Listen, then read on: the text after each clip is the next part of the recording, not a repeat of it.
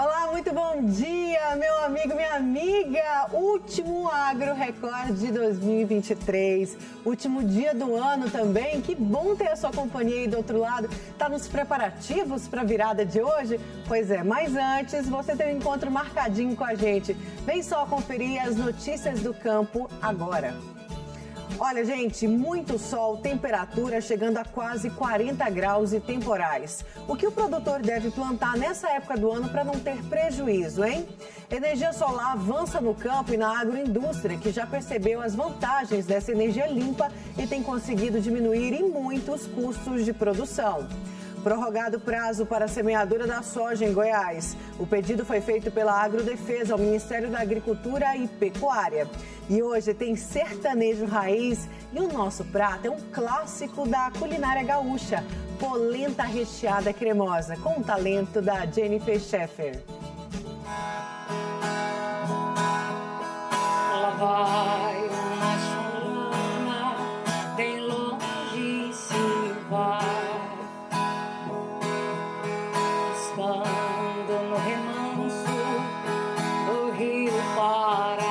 Delícia, né, gente? Combina muito com o dia de hoje. Então, vem junto que o Agro Record já está no ar.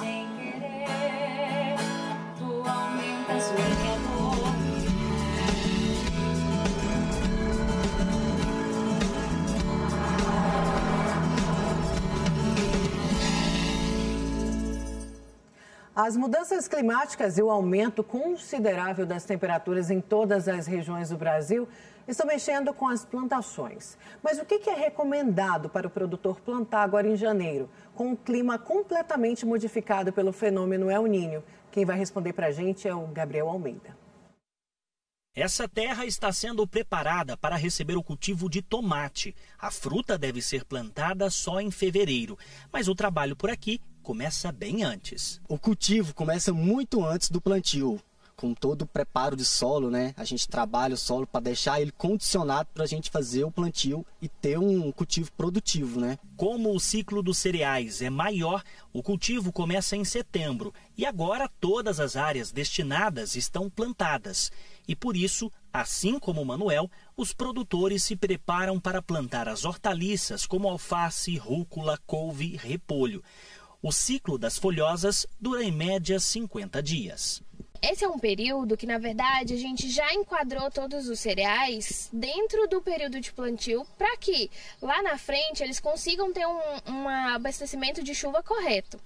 Então, já essas folhosas, elas têm um ciclo menor, então elas conseguem se adaptar melhor e normalmente elas são plantadas em áreas menores. Então, a gente consegue manejar melhor o cultivo dessas hortaliças, é, tanto em demanda de água como em demanda de sol. Então, a gente tem o que a gente chama de fotoperíodo, que é necessário para cada planta. Então, é, os cereais em geral, eles precisam de um fotoperíodo maior e eles foram plantados aí na época de novembro a dezembro. Já as hortaliças, eles têm um ciclo menor e aí elas podem ser plantadas agora em janeiro. Com ciclos menores, esses cultivos precisam ser plantados com um planejamento. Só assim o produtor vai garantir uma boa produção. Mas mesmo com planejamento, os produtores estão enfrentando dificuldades.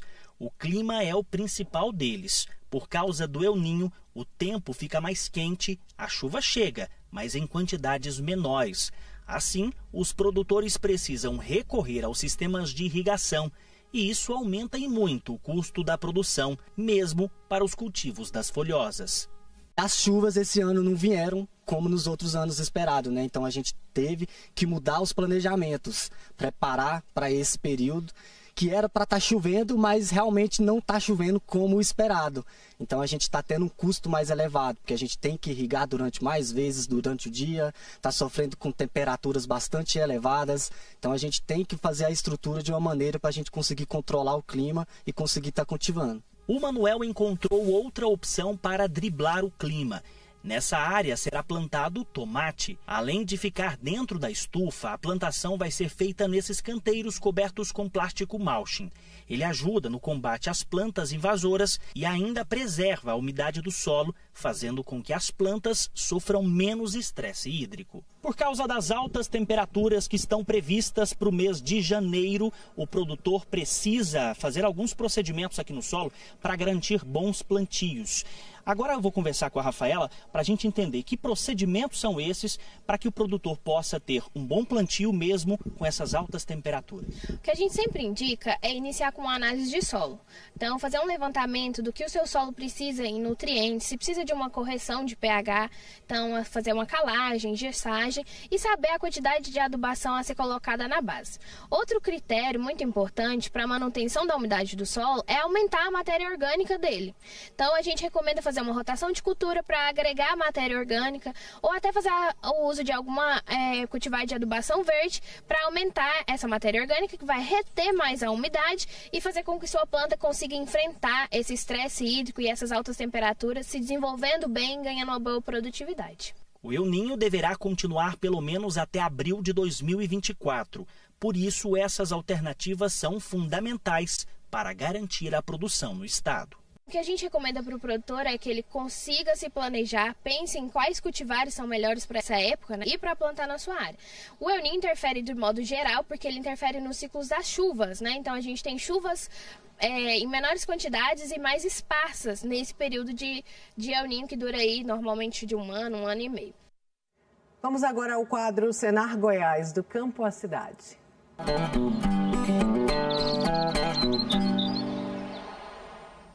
Hoje nós vamos conhecer a história de um casal de produtores de cristalina que resolveu cultivar maracujá por conta própria. Os prejuízos só acabaram depois que eles passaram a receber o acompanhamento técnico do Senar Goiás. Na propriedade da família em Cristalina, Deusdete e Inês se arriscaram no cultivo de maracujá. Mas sem as técnicas certas, a primeira etapa não saiu como esperado. Sem, sem ensinamento, Aí plantamos o primeiro maracujá. Plantamos muito fundo, não sabíamos como plantar. Aí fomos atrás de buscar ajuda, né?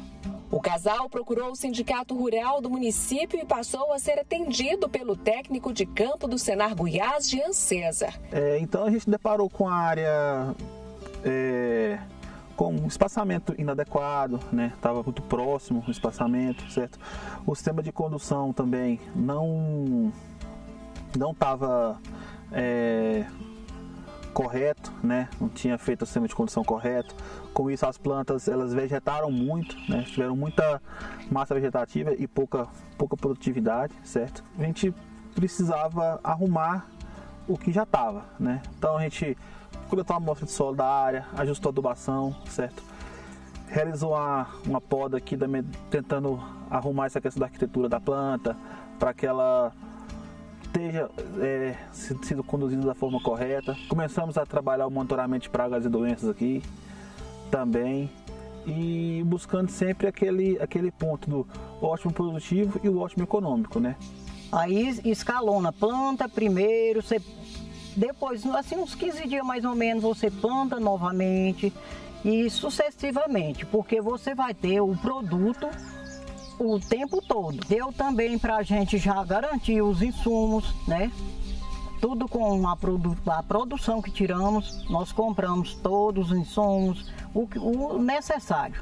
Colhemos 10 toneladas, depois passamos para 14 toneladas. E esse ano nós estamos querendo que ele chega mais de 20, se Deus quiser. Porque melhorou a produtividade com a ori orientação técnica. E aí é só agradecer, né? O, o, o Senar, pela força, e o Jean, que é nosso técnico, né? que foi muito bom. Nós temos um técnico para trabalhar conosco.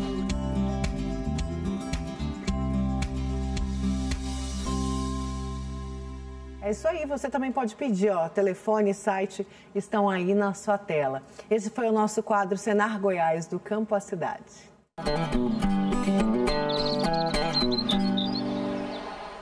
Pensando na ceia de hoje para a virada do ano, ó, e já pensando então se arrumar, vai para alguma festa, Ainda tem muito Agro Record, viu? Não vai sair daí, porque daqui a pouco a gente vai trazer oportunidade. E ainda, energia solar avança na agroindústria e no campo. E depois do intervalo, você vai conhecer uma cidade goiana onde a guariroba ou a gueroba é símbolo e fonte de renda de muitas famílias. É já já, gente.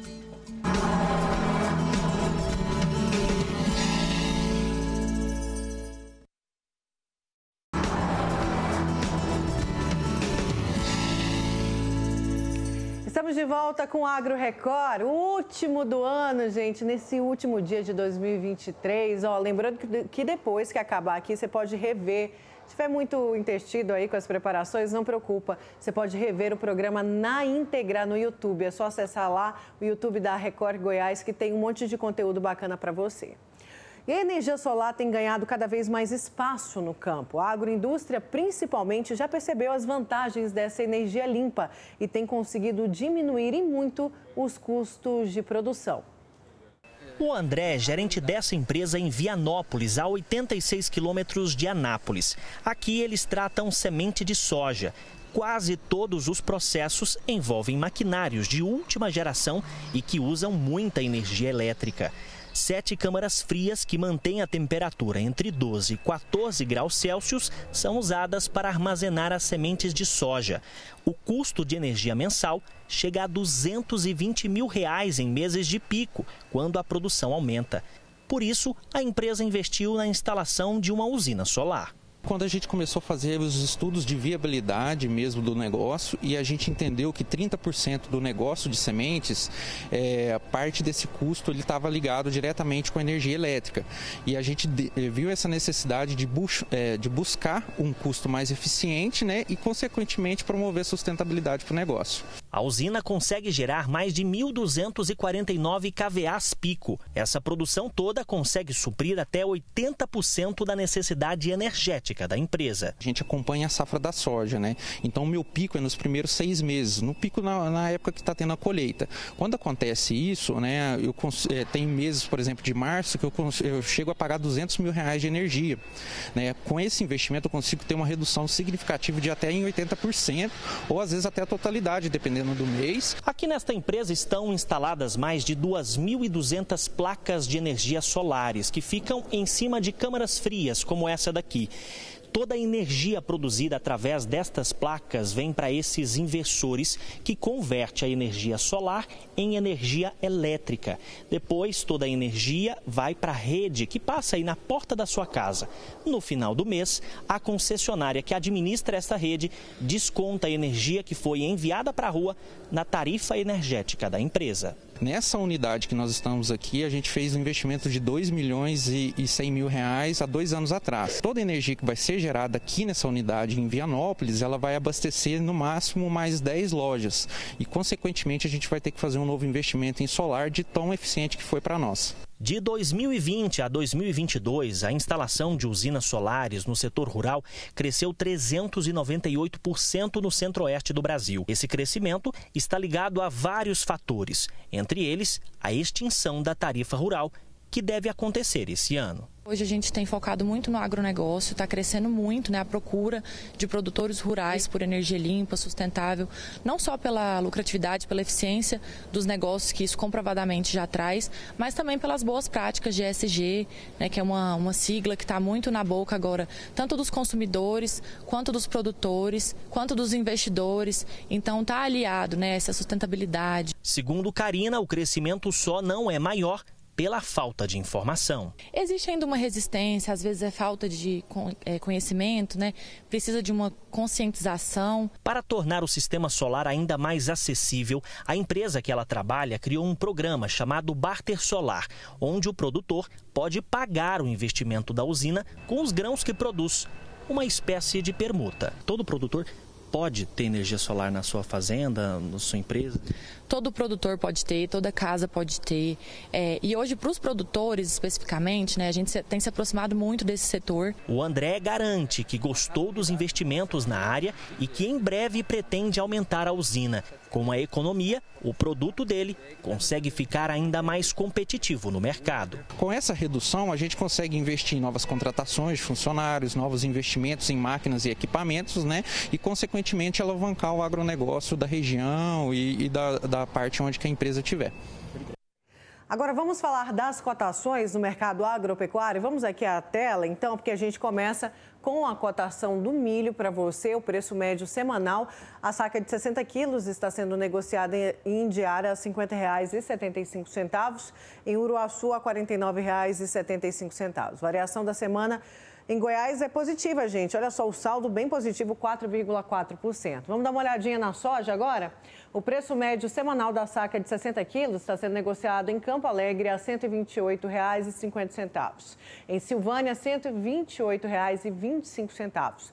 Já a variação da soja é negativa, mas é uma fração muito pequena, 0,4%. Vamos olhar a arroba do boi, o boi gordo aí na sua tela. O preço médio semanal da arroba do boi está sendo negociado em Mozarlândia a R$ 226,50. Em Cidade Ocidental, R$ 223,75.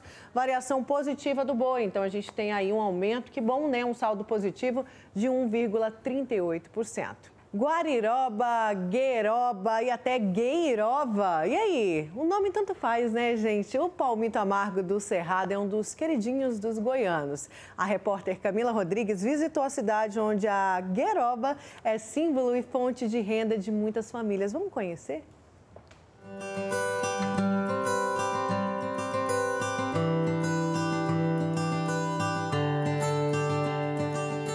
Ela tem o apreço dos goianos e cada um chama de um jeito. Guariroba. Gueroba. Guariroba. Gueroba. Guariroba não. Não é não, Gueroba. Gueroba. Quem sou eu para dizer que algum nome tá errado, né? Mas oficialmente ela é a guariroba. Usada como alimento inicialmente pelos indígenas, a planta é citada desde o século XVIII. Essa cultura ela é nativa. Ela existia em todas as outras culturas que eram plantadas, sempre tinha a guariroba no meio. Rica em fibras, a Guariroba está em todo o canto de Goiás, mas um município em especial ganhou o título de Cidade da Guariroba. Nós estamos em Aurilândia, que fica a 140 quilômetros de Goiânia. E é atrás da Gueroba que a gente vai. Essa fazenda aqui fica a cerca de 6 quilômetros do centro de Aurilândia e é uma das maiores produtoras de guariroba aqui da cidade. É um hectare de plantação em diferentes níveis de crescimento. Essa daqui, por exemplo, já tem mais de 3 anos e já está no ponto de ser retirada. Essa outra aqui foi plantada há cerca de 3 meses. A dona das terras é a Maria Tereza, que viu a oportunidade de negócio depois de trabalhar numa indústria de conserva da planta. De tudo eu já fiz, né? Vende uma coisa, vende outra, e foi até que eu estabilizei na Guariroba. Ela planta, colhe e transforma. Maria tem uma agroindústria que fabrica guariroba em conserva, congelada, licor e até doce, que já tem 25 anos de história. Esse aí do potinho, ele é feito da castanha, né? A castanha do coco, né?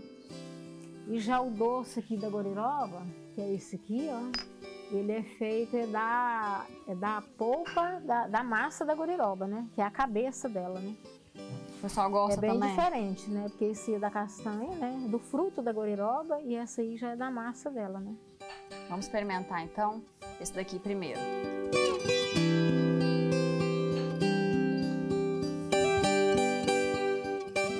Gostou? Maravilhoso. Vamos experimentar esse daqui também. Esse é o doce de guariroba. Ela fica igual o coco ralado. Só que sem amargo, né? Gente, pra quem não gosta de guariroba, se der esse doce pra alguém, não fala que é, né? Não, tem muita gente que vai experimentar, vira, sabe, de costa, tá esperando o amargo, né? Ah, é? É, aí quando come, fala assim, ah, não, tá parecendo mais um doce de, de mamão, Uhum, né? a De cidra. textura. É, a textura. Maravilhoso, parabéns.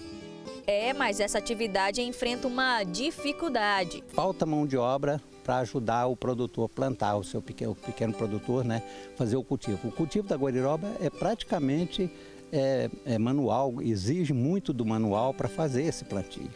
Mas, para nossa sorte, não vai faltar guariroba na mesa. A guariroba é um produto que ele está aí, vem tomando espaço, vem, vem é, ocupando seu espaço. Muita gente que gosta de comer guariroba não vai deixar de comer e o produtor sempre vai produzir.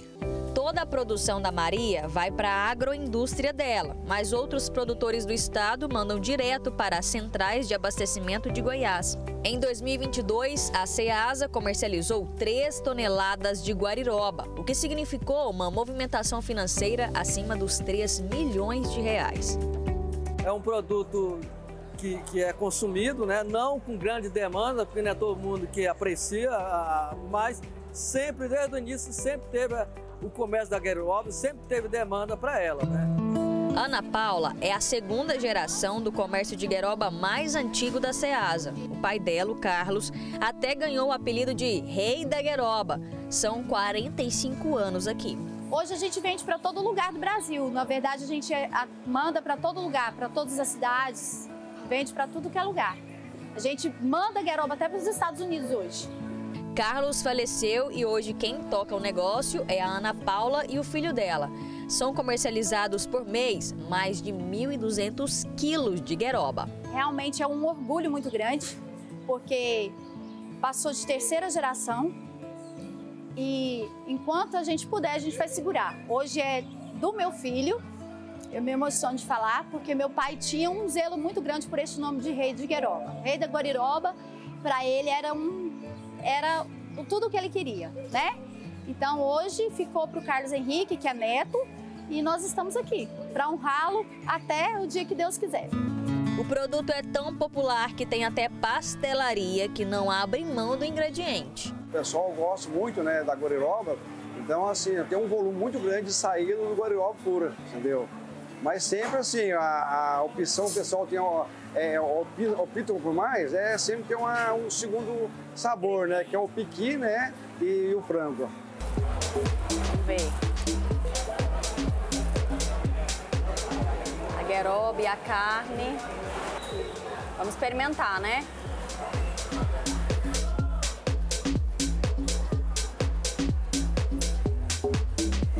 Hum, a gueroba refogada assim, feita desse jeito, ela não tem tanto aquele amargor que geralmente o pessoal da roça gosta muito, né? Meus pais gostam, mas assim tá, tá bem agradável ao meu paladar.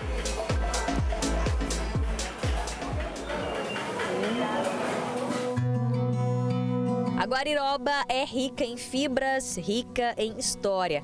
É do nosso cerrado, fonte de renda que alimenta há centenas de anos. Bom, a Maria tem uma definição mais justa do que essa planta significa. É o nosso pão de cada dia, né?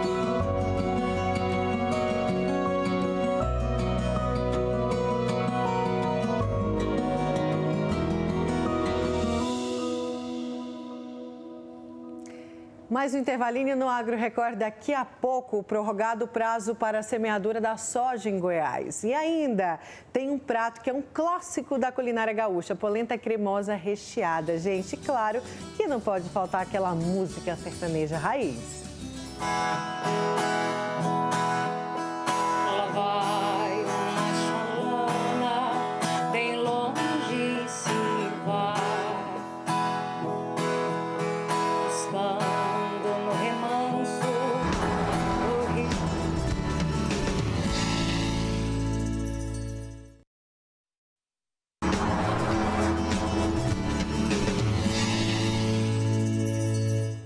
De volta com o Agro Record, o último né, do ano. E eu quero mandar um abraço aqui para a dona Maria e o senhor Aristides de São Luís de Montes Belos, Diego Moraes e Daniela, produtores de soja de Bela Vista de Goiás, Maria Aparecida de Oliveira do Jardim Curitiba, aqui de Goiânia, Jorge Freitas e Ana Lúcia, que são produtores de melancia em Uruana, terra da melancia, que tem um, uma festa maravilhosa e a gente já mostrou aqui.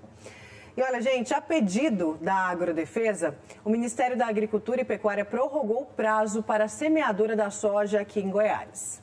O produtor goiano vai ter até o dia 12 de janeiro para poder fazer o plantio da sua lavoura de soja.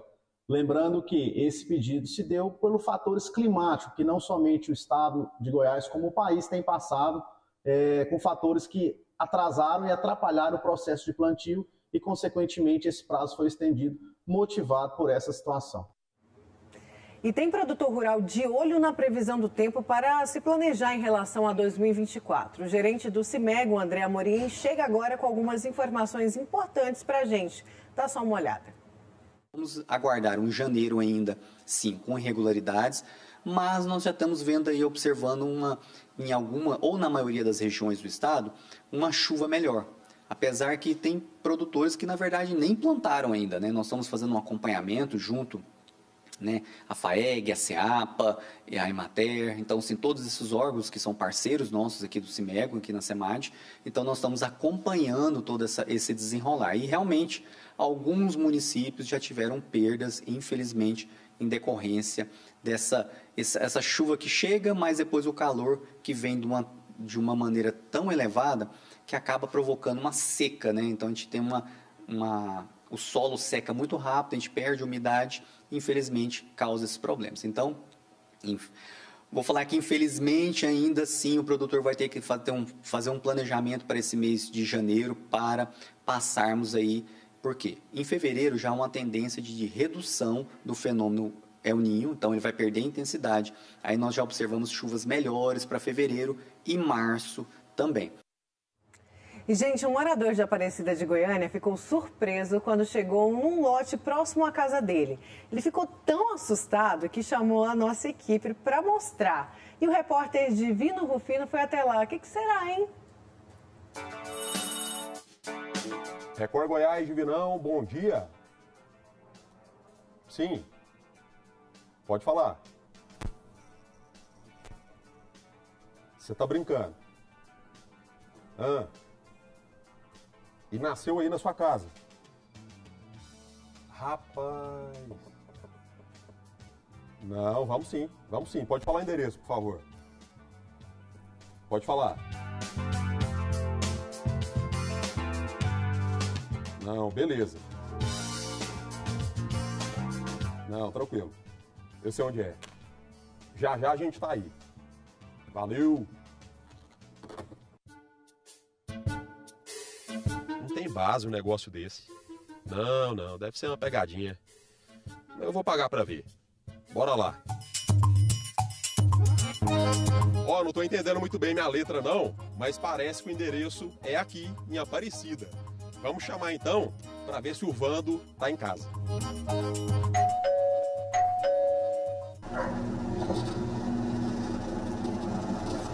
Bom dia, irmão. Você que é o Vando? Sou eu mesmo, da Record. Rapaz, surpresa boa demais você veio aqui, ué. Você me ligou, eu vim ver. Uai, eu mostro. Aqui é palavra dita, você entendeu? Pode assinar embaixo, eu mostro. Então o negócio tá aí. Não, o negócio não tá aqui, mas eu te levo lá onde é que tá, você entendeu? Aonde que é? Lá no Jardim das Cascatas. Então bora lá? Bora lá. Ó, daqui eu consigo ver que parte da história é verdadeira porque tem a ver com o pé de manga e o pé de manga tá ali. Ô Vando, me diz um negócio. Qual que foi a sua reação quando você viu esse negócio? Eu fiquei impressionado, porque eu nunca vi daquele jeito ali. Né? A gente vê por aí de todo jeito e tamanho, mas daquele jeito ali eu nunca tinha visto. Né? Vamos então lá pertinho para ver melhor esse negócio? Para entender essa história? Bora lá.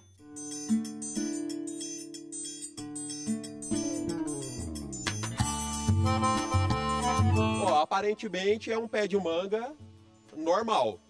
Não dá para ver nada de diferente. Inclusive tem manga porque tá na época da fruta. Esse, esse pé de manga, essa mangueira, fica aqui nesse terreno do Vando. E aqui só tem o pé de manga e o Tora ali atrás, ó, vigiando.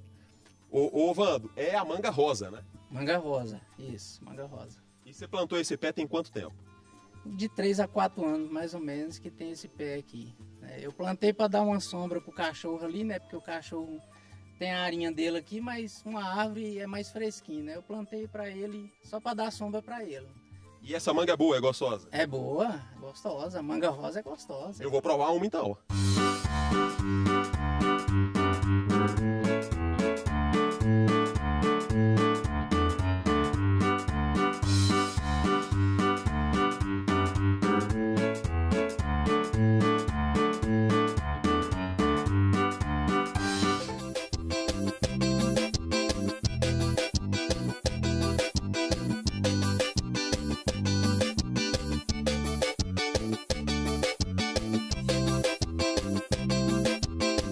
Nunca viu o cão chupando manga. Aí, ó. É boa, viu? Hum, docinha. Vamos revelar o mistério? Que o pessoal tá curioso. Deixa eu te perguntar. Uma manga comum pesa mais ou menos quanto? Em média 300 gramas, por aí. E esse pé aqui deu uma manga muito maior que isso. Muito maior. Quase 2 kg de manga. Uma manga só. 2 quilos de manga. Quase 2 kg. 1 kg e 800 gramas. Você colocou fertilizante nesse pé? Não, aqui, aqui não mora ninguém, né? Eu plantei esse pé de manga pro cachorro, então não mora ninguém. Então não tem fertilizante, não tem nada disso, é coisa da natureza, é a natureza que, que sabe o que que faz, né? Então isso aí é coisa da, da natureza mesmo. Você já apanhou a manga já? Já apanhei a manga, já apanhei. Quer ver a manga? Quero ver. Então, traz a manga aqui, Lê.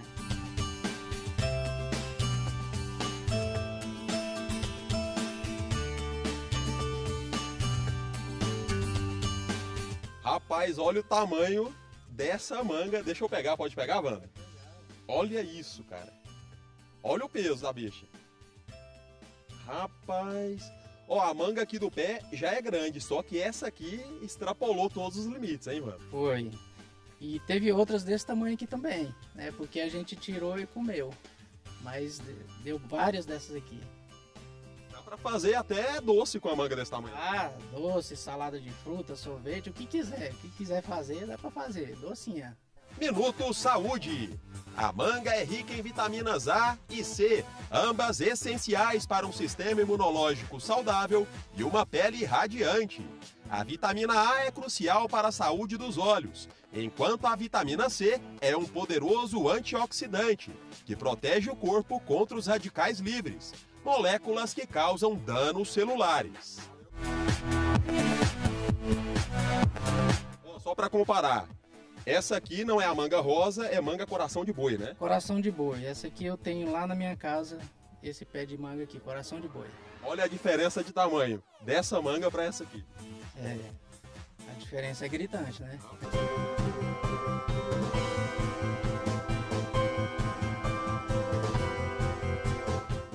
E agora, bora falar de oportunidade?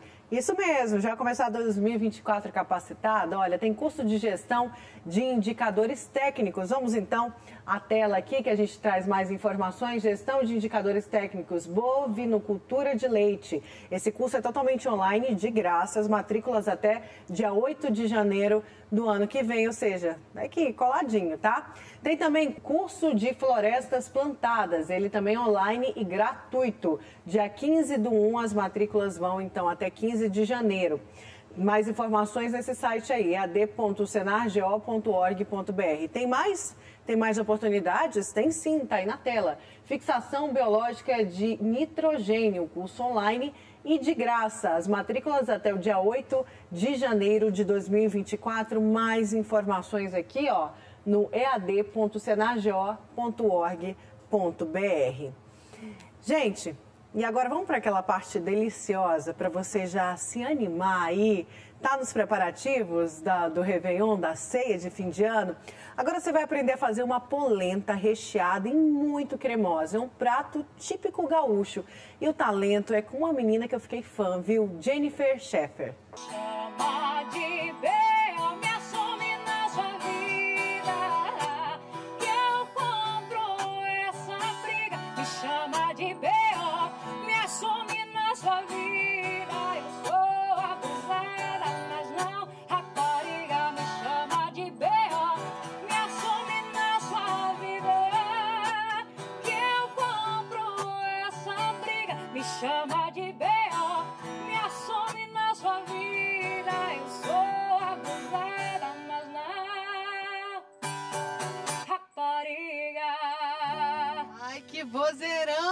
gente! Que presente pra gente. A gente ter a Jennifer Sheffer. Tudo bem? Que bom ter você Bem, aqui. prazer é meu. Prazer é nosso. Tenho certeza que você já ouviu essa música. Ela me chama de BO, tem mais de 9 milhões de visualizações nas plataformas digitais. Foi um marco na sua história, né? Com certeza, com certeza. E aí, agora você vai conhecer um pouquinho mais dela, da história, e fiquei sabendo que além de tudo, de ter esse vozeirão, né? Ela também manda muito bem, sabe onde? Na cozinha, é verdade? Hoje eu vou ter a oportunidade de mostrar os meus dotes culinários. Pois é, quem ganha é a gente, né, que vai provar. Mas, ó, hoje o dia é de muita música, música boa, porque ela tem uma voz realmente encantadora. Todo mundo já falou isso pra você, né? Obrigada. Olha, não sei todo mundo, mas tem uma pessoa especial que eu consegui conquistar, meu esposo, que ele é, ele é fã. Ele falou da voz, né? Quando Falou da voz. Nunca tinha visto nada igual. Primeiro eu consegui conquistar pela voz o canto da sereia, diz ele, segundo pelo estômago. Opa, gente. Então conquistou a gente já pela voz, tenho certeza que vai conquistar também pelo estômago. Agora, Jennifer, você é gaúcha, mas já tá aqui em Goiânia já tem um tempo. Isso, eu sou gaúcha, né, de Santo Ângelo, mas moro em Goiânia há cinco anos. E aí, você veio para Goiânia realmente porque aqui, né, gente, é um celeiro da música sertaneja. E aqui que acontecem as coisas do sertanejo. Você veio com esse propósito. Há cinco anos atrás, 2018, eu estava lá no Sul abrindo um show do João Neto e Frederico, que são de Goiânia, e eles me deram um conselho para eu vir para cá, porque tinha muito empresário à procura de cantoras, né? Tava no auge, Maiara Maraíza, Marília Mendonça, Simone Simaria. E eu segui esse conselho e vim para Goiânia. Em dois meses eu já estava com o empresário, eh, planejando o primeiro DVD, que intitulou-se Ao Vivo em Goiânia, com tudo aí certo, graças a Deus. Que bom. E, vo- e ela é nova, né, gente? Dá pra ver aqui que ela é nova. Então, assim, ela já era muito, ainda era mais nova quando veio pra cá. Te ass- assustou nesse primeiro momento, né? Você vê que tudo aconteceu tão rápido, porque você já deve cantar já tem muito tempo, né? Isso, tem uns 12 ou 13 anos já que eu canto. E me assustou demais. E a minha família também, porque eu não conhecia ninguém. Eu larguei tudo lá. Se- eh, vim com três malas, um violão, 36 horas de ônibus sem conhecer ninguém. E a minha mãe disse: Você é louca, que, né? Eu falei: Tudo bem, mas se der errado eu ligo. Eu falo: Me manda uma passagem. Mas eu preciso tentar. Claro. E olha, deu tudo certo. Então, Deu tudo certo, tem que gente. arriscar. Quem não arrisca, não petisca. Você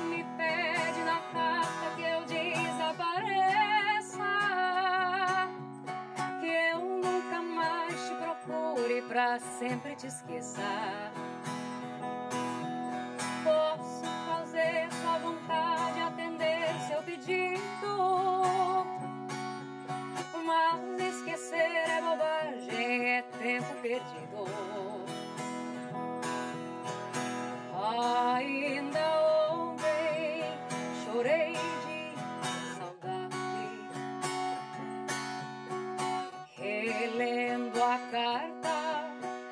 Sentindo perfume. Mas que fazer com essa dor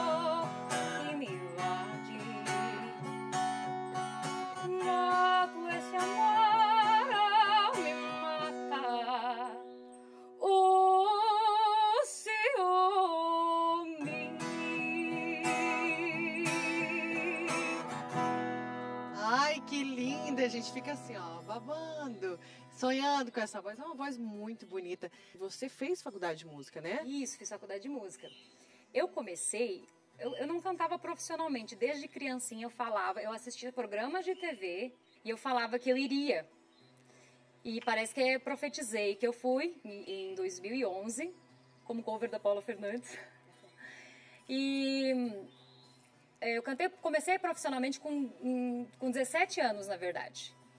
Então não foi tão cedo. Hoje, claro, dá 12 anos de carreira, mas eu sempre falei que eu queria fazer faculdade de música e os meus pais falaram, faz alguma coisa que dê dinheiro primeiro. Então, primeiro, antes de eu entrar na faculdade de música e me profissional- profissionalizar, eu me formei em Química de Alimentos. Ah, olha só então. É, manja os dois, por isso. Isso, Que manja os então dois. E hoje você vai fazer um prato muito afetivo, né? Muito afetivo. Conta pra gente o que, que é. Esse prato minha mãe faz demais lá. É, eu sou de uma família italiana e alemã, né? O Scheffer, alemão, o Rossini, italiano. E a gente come muito polenta lá no sul, né? E quando eu cheguei aqui em Goiânia, me, me apaixonei por um prato de vocês que se chama Chica Doida. E a Chica Doida me remete a esse prato que eu vou fazer hoje, que é uma polenta recheada. Inclusive, quem quiser depois mudar os ingredientes na sua casa para lembrar mais é, o tempero goiano, pode ficar à vontade. Pode mudar, gente. E eu já vi ali como que é, mais ou menos, ela foi falando. Mas parece ser muito fácil, é aquela comida assim que você consegue fazer rapidinho para uma visita que vem. Exato. Ou então uma comida diferente, né? É. E que você consegue, você não precisa ter tanta técnica para fazer. Não, ela é uma comida fácil. Ó, cozinheiros iniciantes conseguem tirar de letra. Vamos lá, então? Vamos lá.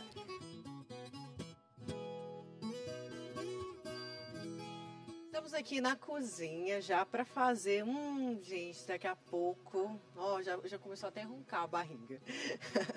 Mas, ó, o que, que tem de ingrediente? Pelo menos os que você vai usar. Lembrando que, como a Jennifer falou, o pessoal pode trocar, né? Pode trocar se você quiser colocar uma carne seca, o que você tiver em casa aí que achar gostoso.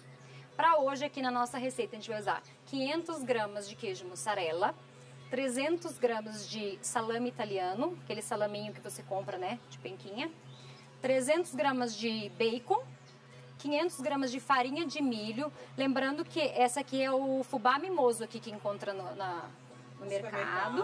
Isso. Um litro e meio de água, 300 ml de leite integral. Aqui a gente vai usar uma colher é, de, acho que é de chá, de pimenta preta, mas também pode ser a gosto, tá?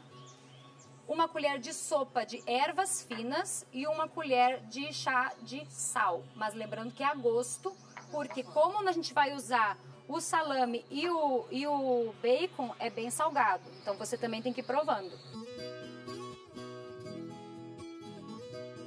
Vamos pôr para fritar agora o salaminho e o bacon. Eu gosto de fritar separado para ficar o sabor bem acentuado de cada ingrediente, né?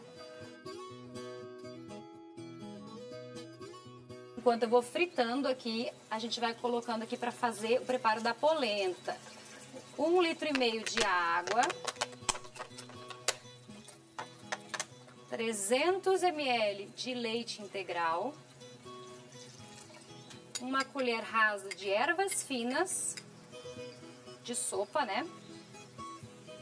Uma colherinha de chá de sal.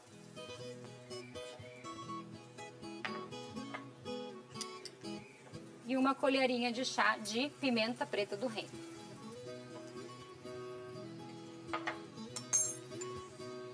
Agora vamos para o meio quilo de farinha de milho.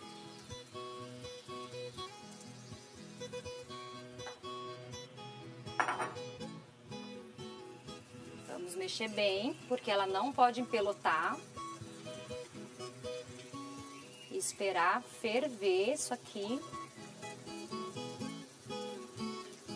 Jennifer, você go- gostava de cozinhar assim com a sua família ou então com seu marido? Como que é essa relação na cozinha? Eu peguei o gosto, de fato, por cozinhar na época da pandemia. Que nós ficamos todos na mesma casa. E eu chegava em casa e meu sogro falava assim: Minha nora, faz um macarrão daqueles. Ele adora macarrão.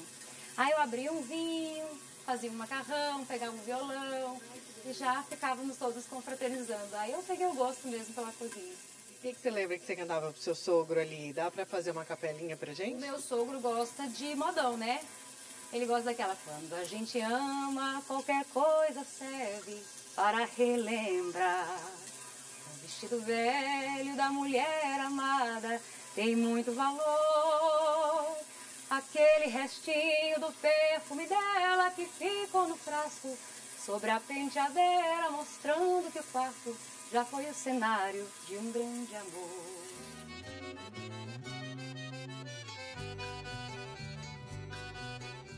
Ó, ela tá começando a criar aquela consistência do nosso creme, da nossa polenta. Eu vou pedir um auxílio aqui do Wagner, nosso produtor. Ele vai ficar mexendo aqui enquanto a gente faz uma moda.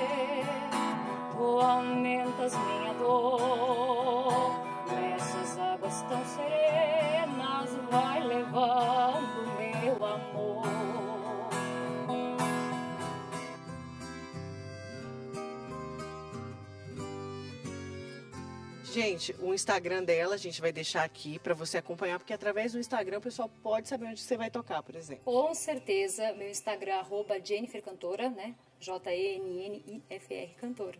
Lá tá todas as informações, tanto de shows quanto dos próximos lançamentos. A gente está com DVD aí, é, uma faixa por mês. músicas. E olha, a gente estava falando um pouquinho antes né, de começar a gravar dos projetos. Ela estava falando que 2024, agora já, né, já tá lotado de shows. Graças a Deus, a gente tem a previsão de 70 datas, né, para 2024. E lá vão estar todas as informações. Não percam, por favor, essa agenda. Posso fazer uma bem diferente? Pode, claro. Essa aqui é para minha sogra, já que eu dediquei um pro meu sogro, vou dedicar, porque senão ela vai falar Essa que eu não dediquei briga, para ela. vai ter briga. Tem um coração dividido entre a esperança e a razão. Tem um coração melhor que não tivera. Esse coração não consegue se conter ao ouvir tua voz. Um pobre coração, sempre escravo da ternura. Quem dera ser um peixe, para em teu límpido aquário mergulhar, fazer borbulhas de amor pra te encantar, passar a noite em dentro de ti, um peixe, para enfeitar de corais tua cintura, fazer silhuetas de amor à luz da lua,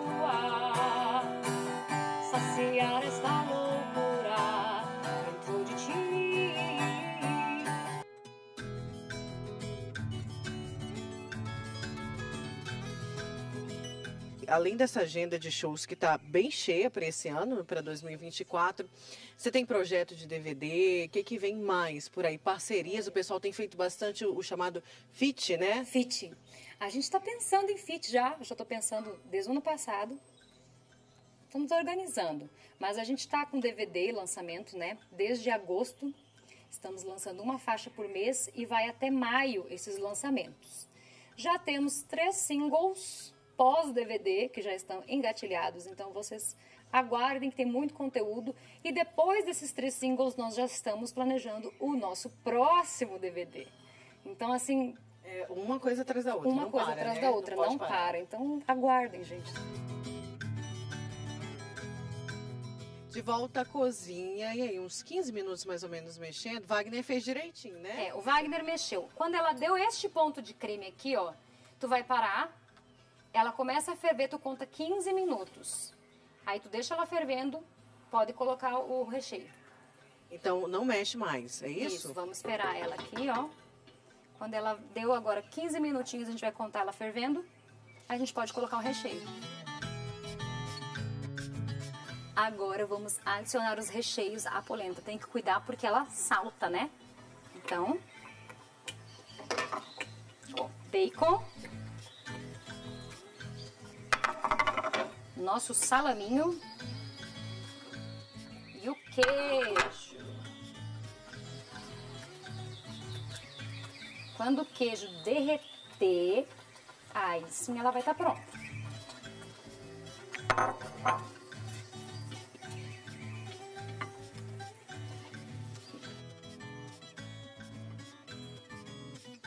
Isso aqui, ó, a magia da polenta, ó. Esse ponto que a gente quer. Esse creme com este queijo.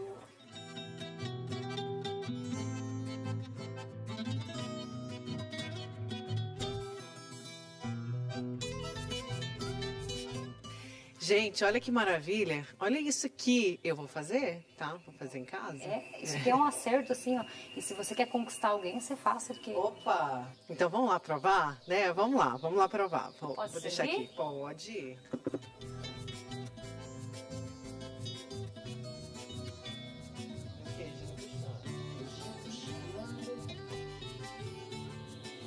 Tá bom, depois fora da- das câmeras eu como mais. Obrigada. Também vou, porque olha, Uma delícia.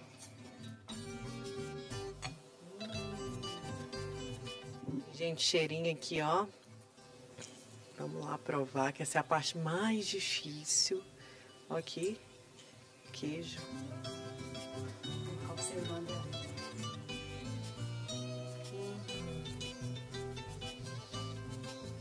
Como é que eu tenho que provar mais um pouquinho? Ai, que delícia. Aprovado? Vou dar até um abraço. De tanto que tá aprovado. Obrigada, que delícia. Eu que agradeço. Amei, gente. É muito bom. Faz aí na sua casa, manda foto pra gente, porque é muito bom.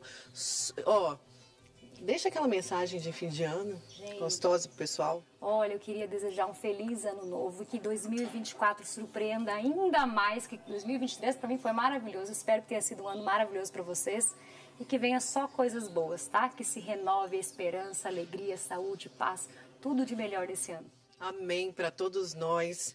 E é bem isso que a gente deseja, ó. Coisas boas, como o dia que a gente teve aqui com a Jennifer, que é incrível. É uma cantora sensacional, você percebeu na potência da voz dela, mas além de ser uma cantora muito boa, talentosa, ela também é um ser humano maravilhoso, gente. É isso.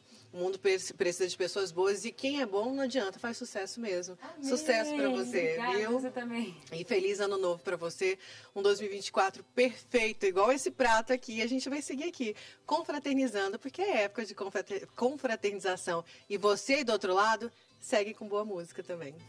Tchau, gente. Minha boca seca e acelera o coração.